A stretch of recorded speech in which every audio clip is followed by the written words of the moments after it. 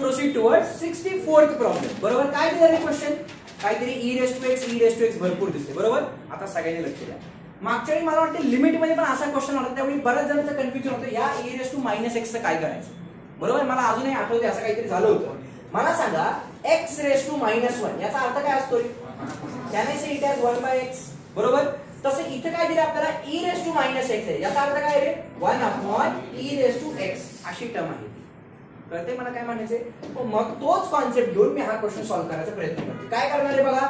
Late आपली नेहमीची procedure काय करणार? Let I is equal to this आता काय करणार? Therefore I is equal to integration of one one divided by इथे काय आलं? A square into e raise to x plus b square into इथे काय आलं रे? One upon e raise to x with respect to x बरोबर आहे का रे? आता चेक करा. इथं काहीच नाही म्हणजे खाली किती रे अपॉन वन आहे. बरोबर? म्हणजे याचा अर्थ काय झाला? I is equal to integration of one divided by करा क्रॉस मल्टिप्लिकेशन काय लिहिले?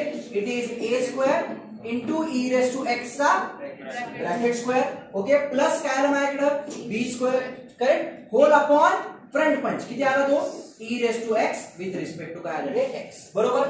आता मला सांगा हा जो ई रेस टू एक्स तो कुठे आहे? डिनॉमिनेटरच्या डिनॉमिनेटरमध्ये कुठे जाणार आहे तो? न्यूमरेटरमध्ये म्हणजे याचा अर्थ काय झाला? Therefore I is equal to integration of this is e raise to x divided by इथे काय आलं? A square into e raise to x चा ब्रॅकेट स्क्वेअर प्लस काय आलं आपल्याकडे?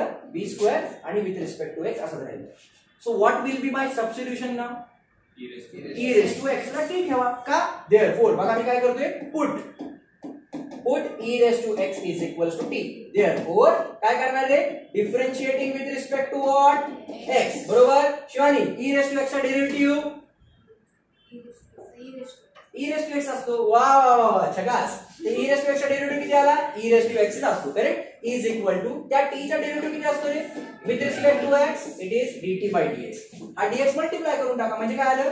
इएस to x into d x is equal to काय मिळालं? dt. म्हणजे क्वेश्चनमध्ये जिथे ही टर्म आली त्या टर्मच्या ऐवजी मी काय लिहिणार?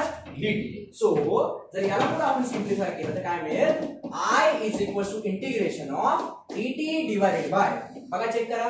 This is a square into e raise to x ठिकाणी काय लिहिणार? टी चा स्क्वेअर प्लस पुढे काय आलं माझ्याकडे? बरोबर आहे म्हणजे याला कसं लिहू शकतो? This can be further rearranged as dt divided by this is a into t चा ब्रॅकेट स्क्वेअर बरोबर आहे का रे? प्लस इथं काय आलं माझ्याकडे? बी स्क्वेअर देअरफॉर काय म्हणणार? वी नो काय माहिती आपल्याला? काय माहिती असेल तरी छान लिहून टाकायचं. नेहमीप्रमाणे. बरोबर?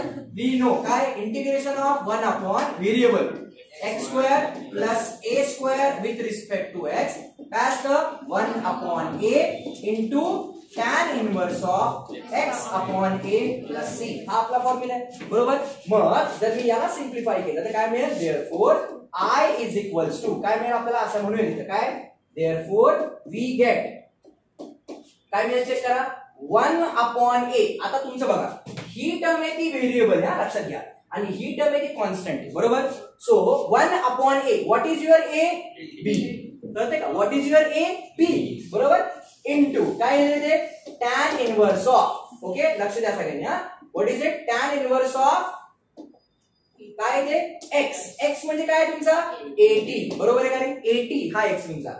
एक्स अपॉन ए बरोबर? पुढे काय आलं माझ्याकडं? Plus c but what is your t again e raise to x म्हणजे मी काय करणार? देअर फोर फायनली काय मिळालं आपल्याला? चेक करा. I is equals to one upon b into tan inverse of a into e raised to x upon b plus c. I'll make a box to this and this will be my required solution. हे कळालं का रे